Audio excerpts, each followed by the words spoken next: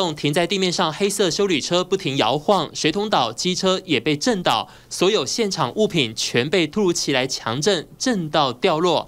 仔细看，这名黑衣男子先冲了出来，吓得惊慌失措，往屋外边跑边跳。接着，另一名家人也冲到屋外。这位女士双手捂着耳朵，吓到放声大叫，心系着其他家人。从监视器另一个角度，屋主女儿也逃了出来，站在自家货车旁。这时剧烈摇动，已经让当地居民吓坏了。地震的时候，我刚好在那个在那个出货当中。然后，因为虽然今天假日，我还是会加班这样子。然后刚好就是地震一来，后，我赶快先打开门。嗯，对，那时候我也是很紧张，然后赶快抱起我狗狗就往外冲。嗯哼。可是还好，我是往外冲，看东西都倒成这样了。当时状况哦，我是在另外一头嘛。嗯。那摇得很厉害，应该今天是第四、第五次了吧？是。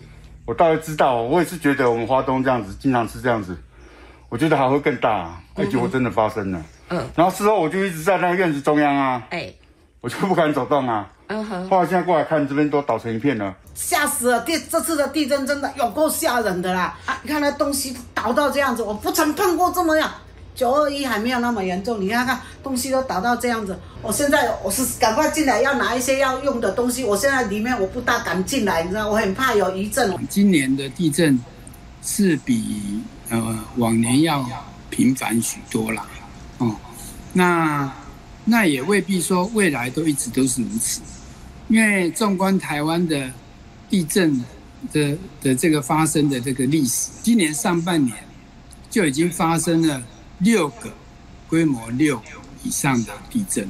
菲律宾海板块是一直在活动的啊，所以它会一直有力量累积在这个地质构造这里。那如果中间这么长一段时间没有适时的将这个力量给释放出来的话，它有可能在这个地质构造无法承受的情况之下，突然它就可以大量的释放这个这个能量出来。近年来，地震大多发生在华东地区，民众担忧是否可能会有更大的地震。气象局公布全台四十四条断层的发震几率。台湾在未来五十年发生规模大于六点五地震的几率为百分之九十九，甚至规模六点七地震几率也有百分之九十四。我们以台湾地区来看的话，东部跟中央山脉的西部可能就不能用同一个模式来比较。那第二个的话，就是所谓的呃一有一种地震模型，就是在时间轴上它有。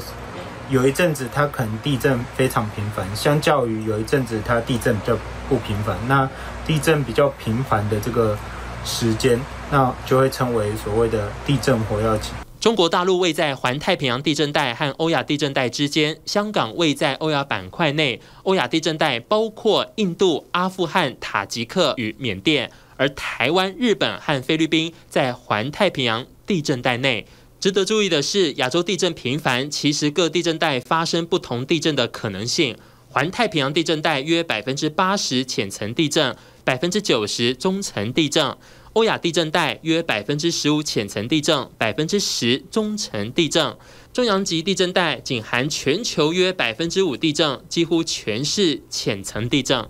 台湾东部的话，花东纵谷断层，那这里是其实是很常发生地震，因为它在二零一八年就发生过花莲地震。预测地震无法像天气预报一样精准，地震会使建筑物倒塌，但建筑构造的发震几率比较高，危险区域应提高警觉。TVBS 新闻廖广斌、徐梦杰、蒋志伟，台北花莲采访报道。请支持 TVBS 国际 Plus 全新频道，让您扩大视野，掌握趋势，接轨全世界。恳请订阅，开启小铃铛。